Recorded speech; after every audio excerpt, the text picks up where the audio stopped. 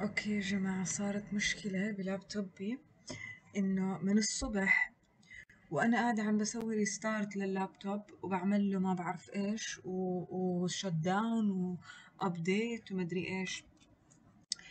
آه، كانت مشكلتي إنه ما عم يشبك على الواي فاي. يعني هون يعني مثلا الجوال لما تضغطوا على الواي فاي ويتشغلوه دائما بصير يدور على واي فاي صح؟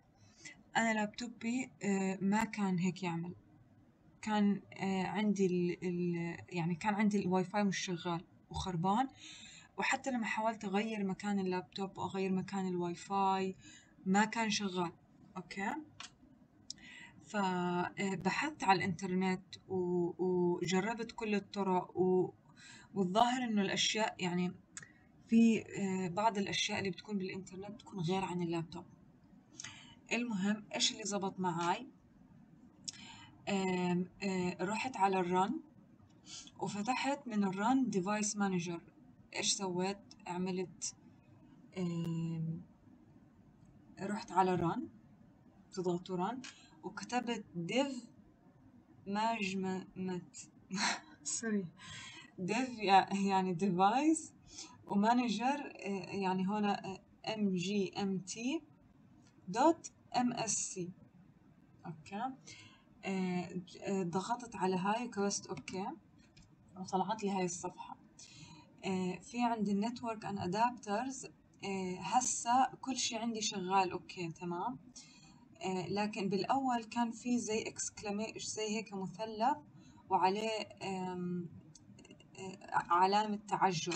فما فهمت إيش هي وما عرفت كيف أصلحها لأنه في الإنترنت الأشياء اللي هون بتكون غير بتكون يعني في ظاهر إنه في لابتوبات ايسر الثانية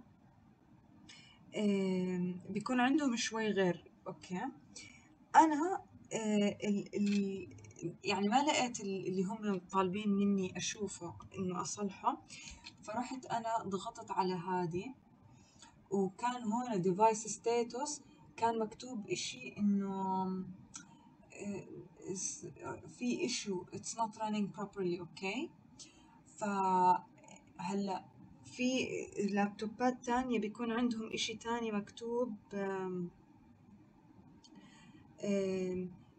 Intel wireless AC 9560 هسا أنا ما عندي إياها فأنا رحت شغلت مش ال Intel هاي ال MediaTek Wi-Fi 6 وهون كانت not working properly فإيش سويت؟ ما عرفتش كيف أصلحها.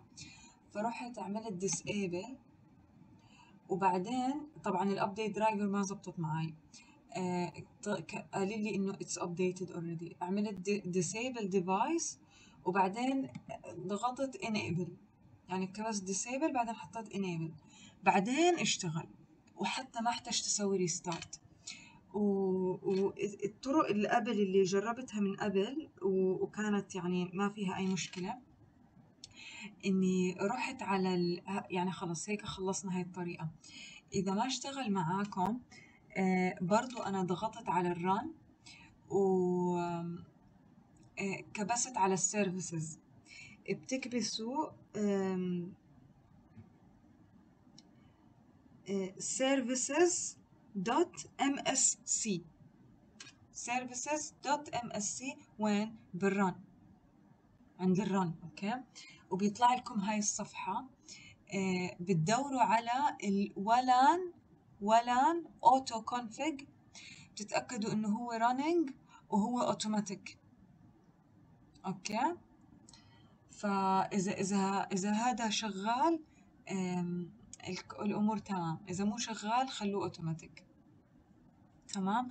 آه، أنا بس حبيت أفيدكم لأنه أنا كمان ما بدي أنسى ما بدي أنسى هاي الطريقة عشان إذا صارت معي بالمستقبل لأنه هاي مش أول مرة بتصير معي آه، بالأول كانت تتصلح لحالها لما أسوي restart بس اليوم والله من الصبح وأنا أرستت وأرستت أسوي restart واللي هو.